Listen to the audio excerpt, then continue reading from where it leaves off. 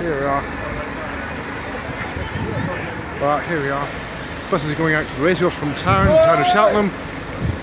We're outside Trinity Church here where we're handing out donuts and leaflets all about the human trafficking, ladies being mistreated, mainly on race week. There's things happening which shouldn't be, like pop-up brothels, strip clubs and everything else. All these buses have been brought in to satisfy the demand for the buses between the racecourse and the railway station by the town. All these people walking down from the racecourse. We're handing out free downstairs.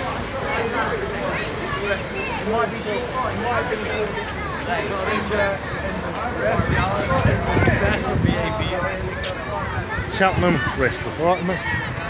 Do you want donut?